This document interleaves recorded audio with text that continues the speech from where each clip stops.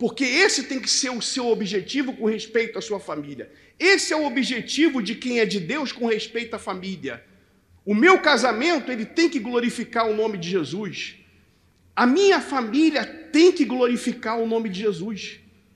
Eu não quero a minha família na presença de Deus, não é porque eu só quero ter paz, eu quero ter sossego, eu quero ser feliz. Não, não é isso. Eu quero que o nome de Jesus seja glorificado no meu casamento. Eu quero que o nome de Jesus seja glorificado na minha família. E graças a Deus tem sido.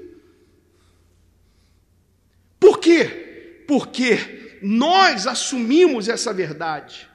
Nós assumimos essa condição e tomamos posição com respeito a essa posição e impomos derrota a qualquer problema que enfrentamos. Como, o bispo? Através da oração. Foi o que o profeta fez, ele orou. E tantos outros exemplos que nós temos de que a realidade a realidade foi mudada não com argumentos, não com palavras.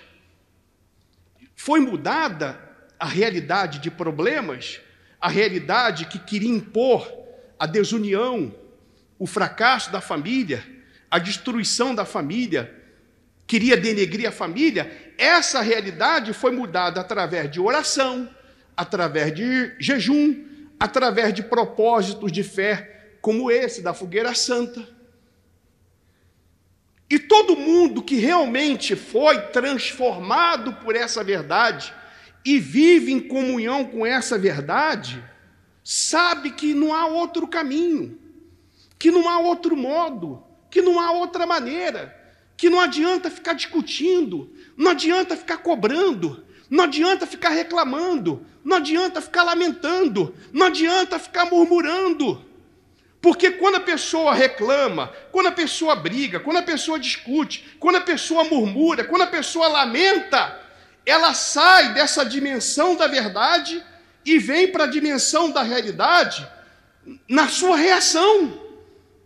E essa é a pergunta: será que esse não tem sido o seu problema? Você não continua reagindo como antes?